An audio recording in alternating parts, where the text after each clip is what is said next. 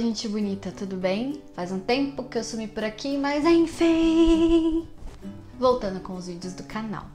Eu sei que vocês sentem minha falta, pode falar aí, né? Vocês sentem falta da linha aqui, né? E hoje o que, é que eu vou falar com vocês? Todo começo de ano é muito comum as pessoas falarem sobre metas para o ano que está se iniciando. Graças a Deus eu tenho muito que agradecer o meu 2016 que foi muito bom. Eu, e o que eu quero de 2017? Na verdade, eu quero que 2017 seja muito melhor do que o meu 2016 foi.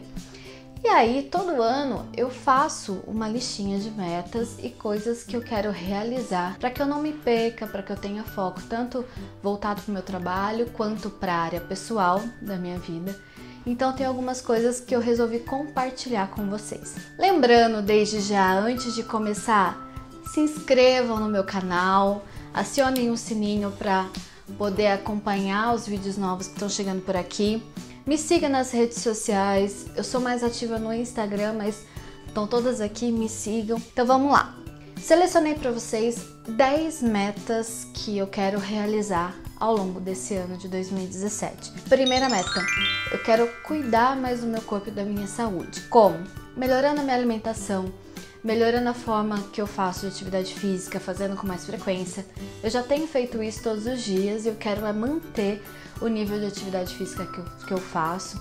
Procurando coisas de tratamento estético para cuidar de pele, essas coisas, e me manter de uma forma mais saudável. Porque tenho que me preocupar com isso por conta da minha segunda meta, que é engravidar. Esse ano eu quero engravidar e é um desejo que eu já tenho há um tempo e agora que eu tô focando de verdade, fazendo exames, procurando para saber se, se tá tudo em ordem. Cuidar do meu corpo, da minha saúde tá completamente relacionado a essa segunda meta que é eu ter um filhinho. Essa é uma meta que é um desejo meu, do meu marido, mas depende de outros fatores também. Então é algo que pode acontecer como não pode acontecer, mas já está registrado, que é um desejo. Terceira meta: cuidar mais das minhas finanças. Esse ano é um ano que a gente está fazendo um controle muito maior das nossas finanças, guardando dinheiro, fazendo aplicações para a gente conseguir realizar outras coisas no futuro.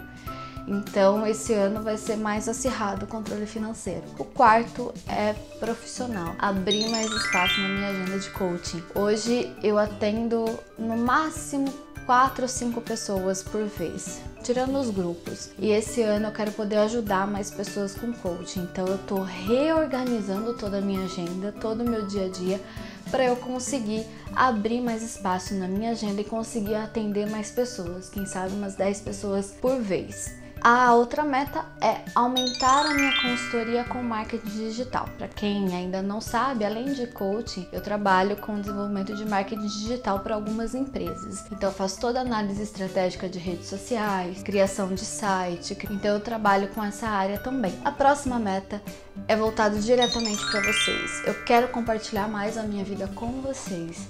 Nesse sentido, eu quero aumentar a minha frequência de vídeos eu confesso que tá bem ruimzinha. Não é toda vez que eu tenho que eu consigo fazer, desenvolver, editar e colocar, mas é uma meta minha de toda semana ter um vídeo aqui com vocês, ou de conteúdo de coaching, ou de coisas no meu dia a dia, ou de coisas aleatórias que surgiram e eu senti vontade de falar, e eu vou estar aqui compartilhando com vocês, ok? Outra meta voltada mais pro lado pessoal e da música é gravar um CD autoral. Também sou cantora. O ano passado eu pude divulgar um pouco mais esse lado, voltei a estudar música, voltei a estudar violão, fazer aula de canto e surgiu a oportunidade de eu fazer gravação de algumas músicas e isso me instigou não só a pegar mais pesado com a música, mas também a escrever e a compor. Então, para esse ano, um desejo que eu tenho, que na verdade é um desejo desde criança, desde quando eu comecei a mexer com música, é poder gravar um CD. Em paralelo com isso, uma outra meta que eu tenho nesse sentido é conseguir organizar um show em um bar, uma casa, alguma coisa assim, só com voz e violão, que é algo que me faz muito bem então consegui ao longo desse ano realizar esse sonho. Uma outra meta, fazer uma viagem internacional. Então esse ano um dos objetivos não só é meu, mas do meu marido também a gente conseguir fazer uma viagem internacional de férias. E uma última meta que aí é porque eu também mereço e essa já tem data, que é outubro. Não sei como vai ser, como vai acontecer, mas é fazer a minha festa de 30 anos. Meu aniversário é em outubro, então ainda tenho 10 meses para me organizar e pensar em como eu vou fazer isso.